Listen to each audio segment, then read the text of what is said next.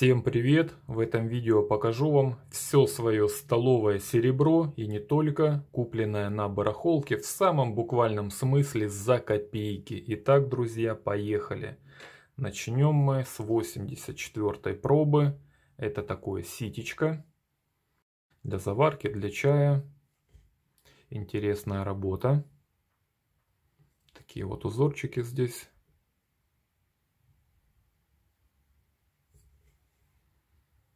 Все добро, которое я вам покажу, купил на барахолке. Можно также с адресов покупать, если вы занимаетесь рекламой, объявления на подъездах и так далее.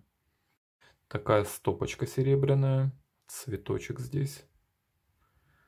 Она уже такая покрылась патиной, чернота. Многие коллекционеры любят патину, даже не чистят. Ну, а какие-то чистят, придают блеск. Позолота такая, довольно-таки насыщенная еще.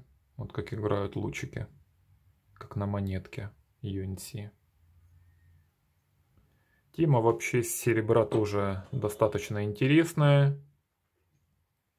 Нужно только заниматься. На ютубе, конечно, мало кто говорит, только монеты серебряные, но столовое серебро тоже заслуживает, чтобы о нем говорили. Такая с чернением 875 проба. Вот столько добра можно купить на барахолке. Естественно, я покупаю там, где есть зазор. Если нет зазора, то лучше не брать. Тогда вы очень быстро вылетите в трубу. На этой стопке мы видим дарственную надпись 50-летию. Ну и вообще в Советском Союзе очень много дарили на юбилеи, на дни рождения, учителям. Именно стопки, наборы ложек серебряных, столовое серебро. Эта тема была очень популярна, потому что относительно было доступно все, нежели чем сейчас. Люди достаточно зарабатывали и могли себе позволить. Большие коллективы скидывались одному работнику либо начальнику и дарили Замечательные предметы такие. Ложка. Мы видим, она с чернением. Очень симпатично и красиво выглядит вживую. Позолота. Если ее почистить, то будет, конечно, гораздо поярче она выглядеть. Серебряный подстаканник. Наверное, все сейчас антиквары, которые наблюдают за мной, все тут же вспомнили за свои кубачи, как они их покупали и в каком количестве. У меня их, допустим, было очень много, наверное, пару десятков, это точно. Потому что за 11 лет, сколько я занимаюсь, было очень много предметов. Жаль, конечно, то, что раньше не открыл YouTube канал свой. Уже как минимум было бы 1500 нас. Но тем не менее мы не унываем, а двигаемся только вперед. Ведь только так можно достигнуть определенных результатов. 875 проба, чернение, остатки позолоты. Вот такие подстаканники коллекционеры могут поставить под стекло, в шкафчики и любоваться своими экземплярами. Такая стопочка, состояние, конечно, не очень. Возможно, она была в воде, воду серебрила.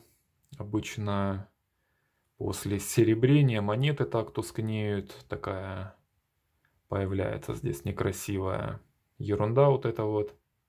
Зеленца. Обычно после воды. Но тем не менее еще позолота немножко есть. И самое интересное, самое такое вкусное, это вот такая театральная сумочка. Давненько она лежит, конечно, у меня. Очень интересный экземпляр. Защелкивается она, работает великолепно.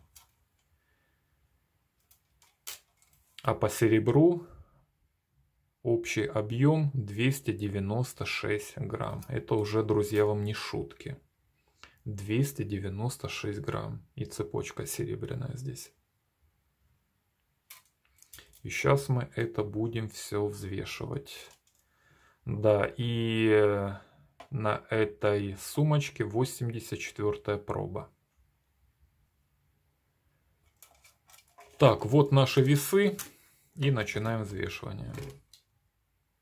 296 грамм. Очень даже и ничего.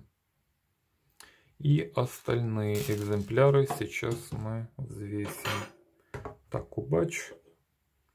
В него мы так поставим стопочки, чтобы все вместить.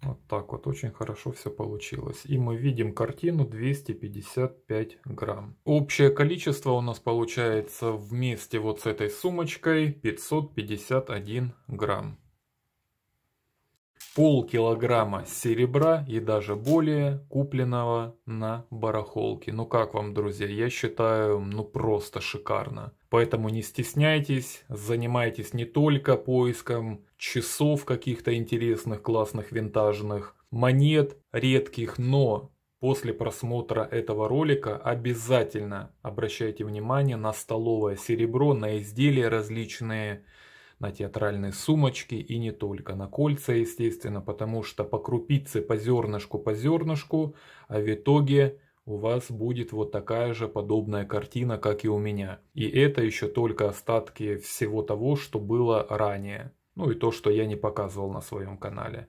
Также я готов покупать столовое серебро. Желательно, конечно, вот такие большие объемы. Это будет максимально интересно. Контактный телефон, как всегда, в описании. Подписывайтесь на канал, ставьте лайки, задавайте вопросы в комментариях. До новых встреч!